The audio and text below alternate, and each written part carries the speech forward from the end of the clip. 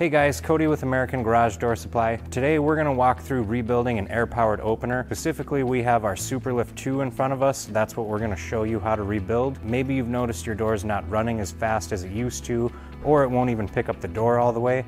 We have a solution for that. Sometimes these things need to be rebuilt. Dirt gets in there, uh, water, debris, anything that can rip those seals and it's gonna cause air to leak past. So I'm gonna show you guys what to look for and how to fix the issue that you're having. There's two separate issues that will happen. Either one, you're gonna get air leaks out of this top seal. Normally what we'll do is we'll spray a bottle of soapy water and spray it around there.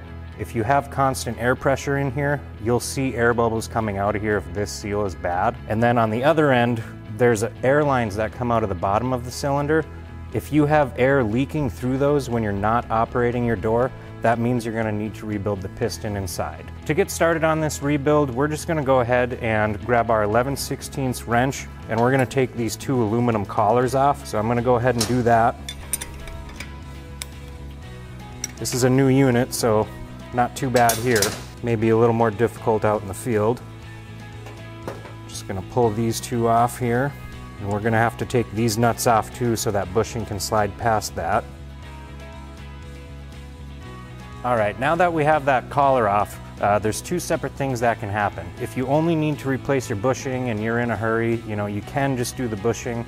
We recommend rebuilding the whole thing while you're in there, but sometimes you just don't have the time for it, it doesn't allow it, maybe you'll get to it later. First things first, if you wanna take this bushing out and that's where your air is leaking from, you'll just grab a one inch wrench, bushing has a couple slots on it for that. A little difficult on the workbench, but we'll get it.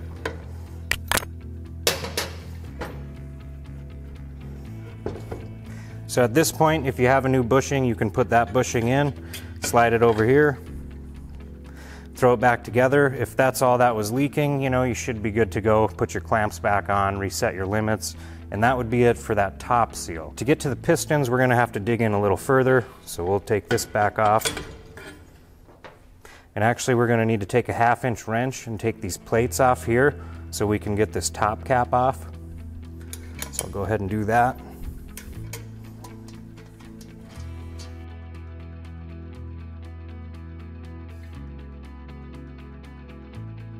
Now that I have this top plate disconnected, I'm just gonna pull it off here and set it off to the side for now. So for these four Allen bolts, you're gonna end up using a 5 16 Allen wrench. I'm gonna go ahead and take these out.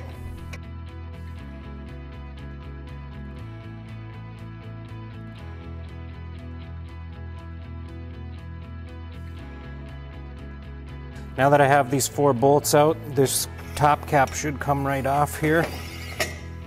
If you have the bushing on still, I'd hold your hand up here so you can just slide this off just like that. And now we have that top cap off. So at this point, you'll be able to pull the rod out and you'll be able to see the piston and the seals that are inside there. That's what we're gonna need to replace here. So let's pull those out. Now that we have this pulled out, you can see this one seal wants to come out. It just kind of sits in there. It's friction fit when you put it in the tube. So you can see here you have two U-cups on the outside. That is to stop the air from passing through that bottom hole that we had talked about earlier. If these are cracked, ripped, or anything like that, you're gonna get air through there and it's not gonna hold the pressure up here like it should. So to replace these, it's pretty straightforward. Comes in a kit here. You can see that one seal that expands just kind of laying in there.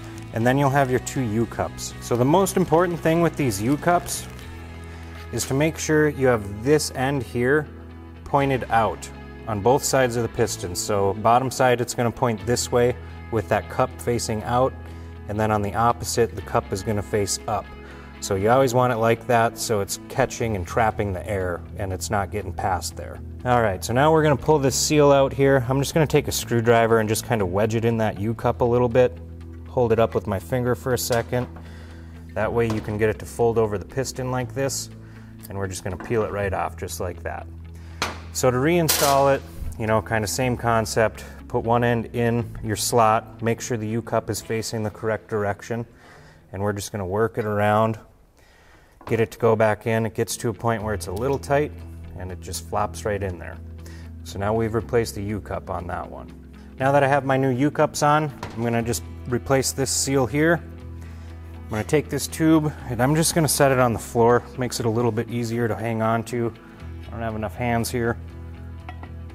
I'm just gonna start slowly pushing this back in. You do have to be careful to make sure you see that U-cup catches the, the end a little bit or the cap here. So we have to make sure that that goes in there properly. Put this little seal on here. And that's it. I have it back in there. The hard part is done. So from here, there's actually two little seals here in the top and bottom cap. We're gonna wanna replace both of those. If you look a little closer here, you can see this one's actually ripped. So we're gonna take that one off, throw that out. We got a new one in this kit here. We're gonna put that one in.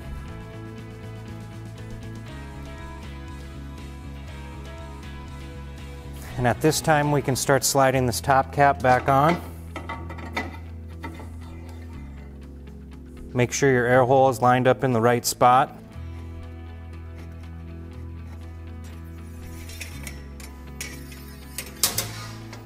So I'm just gonna thread these in a little bit. I'm not gonna tighten any of them down right away. I'm just gonna get it threaded in, started, get everything kind of set in place, and then I'll go ahead and tighten all those down. Now that I have all four of these uh, rods back in here, we're gonna just look at this top cap, make sure the cylinder is lining up nicely with that, make sure we're in the right spot, our seal hasn't fallen out or anything like that. We're good on that one.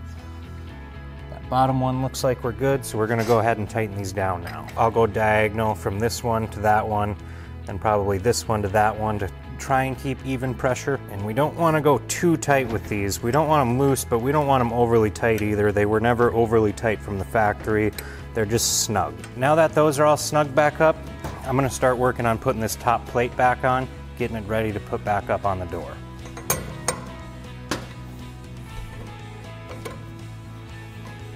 All right, so grab my top plate here. Let's make sure that this angle here is at the same angle as that one down there. So we're just gonna slide it on here. We'll start putting those half inch bolts back in. And I'm gonna tighten these up in the same pattern we used on the rods before, so we'll just do diagonal on each cylinder separately. Again, we don't want these super tight, but we don't want them loose either. We just want them snug. Now that we have this top plate back on, we can go ahead and put our chain clamps back on. We're going to want to put the nuts on first.